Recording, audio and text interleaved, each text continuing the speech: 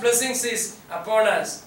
But we may sometimes go through a process to understand His ways and His uh, hallelujah plans in our lives. And He says that now do not be distressed and do not be angry with yourself for selling me here because it was to save lives that God sent me. Hallelujah.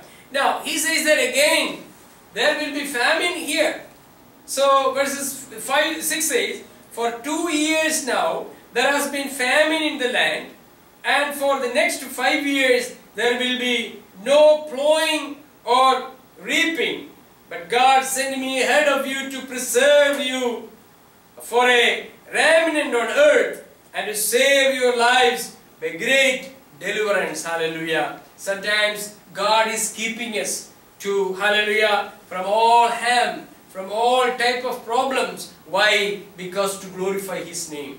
Hallelujah. Because to glorify His name. Thank you, Jesus. Verses 8 says that. So, verses 8, let us read verses 8. So now, it was not you that sent me here, but God, and He has made me a father to Pharaoh and Lord of all his house and the ruler throughout all the land of Egypt. Verses, uh, uh, let's go down. It says, Has he and go up but to my father and say unto them, This says, this day is the son Joseph, God has made me Lord of all Egypt. Come down to me, tarry not. Hallelujah. He says that, so you, your, you just go to your father and tell him that I am alive. Hallelujah. Your children and grand, uh, then verses 10.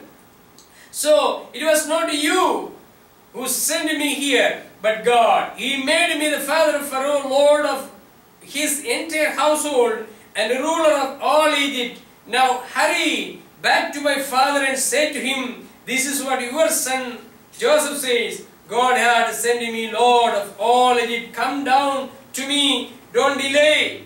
Hallelujah. See, Joseph, even though he was faithfully serving God, he was uh, he had a good faith in uh, God. Hallelujah. God did not reveal him that his son is alive. Hallelujah. Now Joseph, as the governor of the land, hallelujah, he is sending his servants to his father. He is sending or telling his uh, his uh, uh, brothers that you just tell to him, tell to my father, come down to me, don't delay. Hallelujah. See, the work of God is very fast. We may think that sometimes that we are not getting the results all on a sudden. Hallelujah. Sometimes we may think that, oh, how long I'm praying for this, how long I'm praying, but no results. But in, in, within twinkling of an eye, the result can come.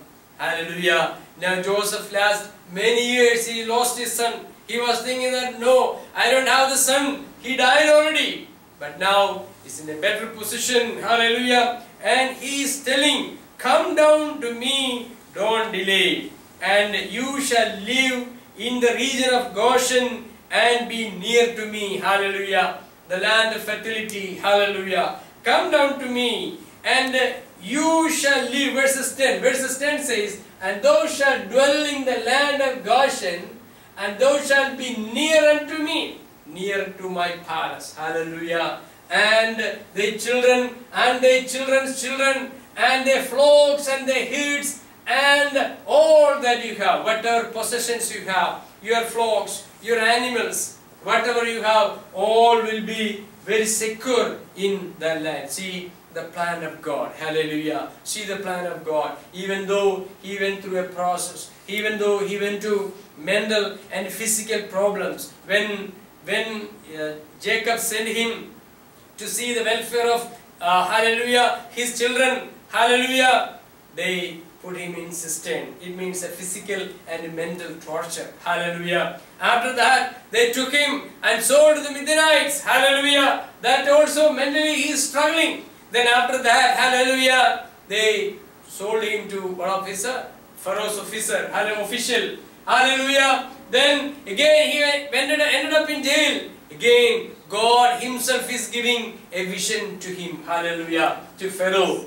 Nobody in the land can interpret that vision. Hallelujah. But Joseph only can interpret. Some of the thing God is giving to you, hallelujah, that you can only interpret it. You can only unlock it. Why? Because God giving to you, God have a plan and purpose in your life. That's why God is giving the same way. Hallelujah. Thank you, Jesus. Now he says that, go down to me, don't delay. Hallelujah. Go down to me, don't delay. And you shall live in the region of Goshen and be near me, uh, uh, near to me. You, your children, your grandchildren, your flocks and herds and all of you, then I will provide for you there because five years of famine are still to come. Hallelujah. Five years of famine is still to come. Hallelujah. Before the famine, God is arranging everything to us. Hallelujah. We, we understand, sometimes we understand the word of God and we by heart it. Sometimes